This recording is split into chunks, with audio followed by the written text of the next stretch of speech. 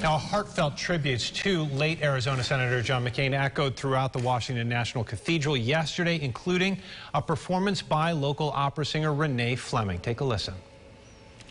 Oh, Danny boy,